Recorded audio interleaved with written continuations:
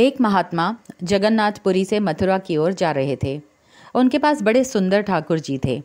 वे संत उन ठाकुर जी को हमेशा साथ ही लिए रहते थे और बड़े प्रेम से उनकी पूजा अर्चना कर लाड लडाया करते थे। ट्रेन से यात्रा करते समय बाबा ने ठाकुर जी को अपने बगल की सीट पर रख दिया और अन्य संतों के साथ हरी चर्चा में मग्न हो गए। जब ट्रेन रुकी और सब संत उतरे, तब वे सत्संग में इतने मग्न हो चुके थे कि झोला गाड़ी में ही रह गया। उसमें रखे ठाकुर जी भी वहीं गाड़ी में रह गए। संत सत्संग की मस्ती में ऐसा बहे कि ठाकुर जी को साथ लेकर आना ही भूल गए। बहुत देर बाद जब उस संत के आश्रम पर सब संत पहुँचे और भोजन प्रसाद पाने का समय आया तो उन प्रेमी संत ने अपने ठाकुर जी को खोजा और देखा कि हमारे ठाकुर जी तो हैं ही नहीं। संत बहुत व्याकुल हो गए, बहुत रोने लगे, परंतु ठाकुर जी नहीं मिले। उन्होंने ठाकुर जी के वियोग में अन्न जल लेना स्वीकार नहीं किया। वे बहुत विरह में रोने लगे और अपने ठाकुर जी को पुकारने लगे। तब उनके एक पहचान के संत ने कहा कि, महाराज, मैं आपको नए ठाकुर जी दे देता हूँ।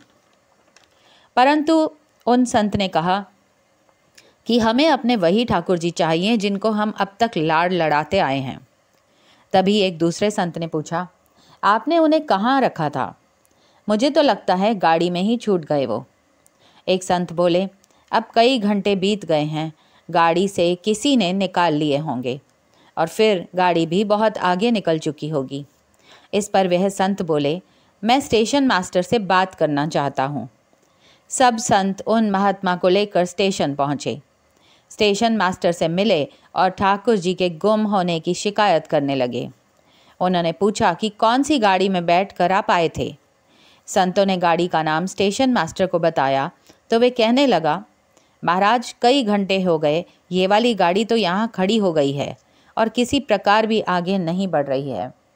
ना कोई खराबी है और ना कोई अन्य दिक्कत। कई सारे इंजीनियर्स अब तक चेक कर चुके हैं, परंतु कोई खराबी दिखती ही नहीं। महात्मा जी बोले, अब ये आगे बढ़ेगी। मेरे बिना मेरे प्यारे कहीं और कैसे चले जाएँगे? महात्मा ट्रेन के डिब्बे के अंदर गए और ठाकुर जी को वहीं रखे, ठाकुर जी को वहीं रखे हुए पाया। अपने ठाकुर जी को महात्मा ने गला, गले लगाया और जैसे ही महात्मा जी उतरे, गाड़ी आगे बढ़ने लग गई। ट्रेन का चालक, स्टेशन मास्टर तथा सभी इंजीनियर्स आश्चर्य में पड़ गए और बाद में उन्होंने जब ये पूरी लीला सुनी तो वे गदगद हो गए। उसके बाद वे सभी जो वहाँ उपस्थित थे उन सभी ने अपना जीवन संत और भगवंत की सेवा में लगा दिया। भगवान भी खुद कहते हैं, भक्त जहाँ मम पग धरे, तहाँ धरूँ मैं हाथ। सदा संग लाग्यो फिरूँ, कबहू न छोड़ूँ साथ।